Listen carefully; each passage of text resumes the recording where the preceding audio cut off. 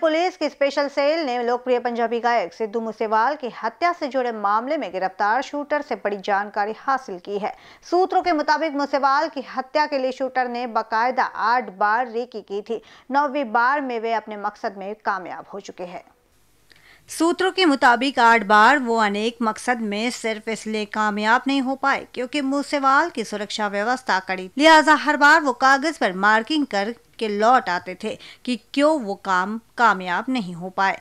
प्रियव्रत और दो शूटर विदेश में बैठे गोल्डी बरार से डायरेक्ट टच में थे। लिहाजा जब भी मुसेवाल की हत्या करने में फेल होते तो गोल्डी बरार की तरफ़ से इनको डांटा जाता था। आठवीं बार जब ये मकसद में कामयाब नहीं हो सके तो गोल्डी बरार की तरफ़ से ये निर्देश आया कि इस बार अगर गोली मारने में कामयाब नहीं हो पाए तो गाड़ी को ग्रेनेड से उड़ा देना, मगर बिना मकसद को अंजाम तक पहुँचाए वापस मत आना। लिहाजा नौवीं बार पूरी फुल प्रूफ प्लानिंग की गई, जिसके तहत शूटर हथियारों से लैस होकर मुसेवाल को मारने के लिए निकले थे। सूत्रों की माने तो ये अपने साथ ग्रेनेड लेकर गए थे, लेकिन निर्देश और मौके की वजह से उसका इस्तेमाल नहीं कर पाए। सूत्रों ने बताया कि गोल्डी बरार ने विदेश से ग्रेनेड मंगाए गए थे। लॉरेंस बिश्नोई और गोल्डी बरार की तरफ़ से पैसे और लॉजिस्टिक मुहैया किया गया। सभी शूटर को एडवांस दिया गया था और उनसे कहा गया था, काम पूरा होने के बाद पूरे पैसे मिलेंगे। आपको बता दें कि दिल्ली की एक अदालत ने लोकप्रिय पंजाबी गायक सिद्धू मूसेवाला की हत्या से जुड़े मामले में गिरफ़्तार दो शूटर समेत तीन लोगों को पूछताछ के लिए दो हफ्तों के लिए सोमवार को पुलिस ने हिरासत में भेज दिया। अतिरिक्त सत्र न्यायाधीश संजय खनगनवाल ने हरियाणा के सोनीपत के प्रियव्रत, उम्र 26 साल, झंझर ज़िले के कशिश, उम्र 24 साल और पंजाब के भटिंडा के केशव कुमार, उम्र उनतीस साल को 14 दिनों के लिए पुलिस हिरासत में भेज दिया। इससे पहले भी दिल्ली पुलिस के विशेष प्रकोष्ठ ने अदालत से कहा था कि बड़ी साजिश का पता लगाने के लिए उनसे पूछताछ की ज़रूरत है। पुलिस ने अदालत से कहा कि प्रियव्रत ने शूटर की टीम की अगुवाई की और वह घटना समय कनाडा स्थित गैंगस्टर गोल्डी बरार के संपर्क में था। जाँच एजेंसी के मुताबिक बरार ने लोकप्रिय गायक मुसेवाल की हत्या की, ज़िम्मेदारी ली है। पुलिस का कहना है कि घटना से पहले एक पेट्रोल पंप के सीसीटीवी फुटेज में प्रियव्रत को देखा जा सकता है। वह पहले भी दो हत्याओं में शामिल था और उसे 2015 में सोनीपत में उनमें से एक मामले में गिरफ़्तार किया गया था। बीसीएन न्यूज़ के लिए दिल्ली से ब्रिजेश कुमार।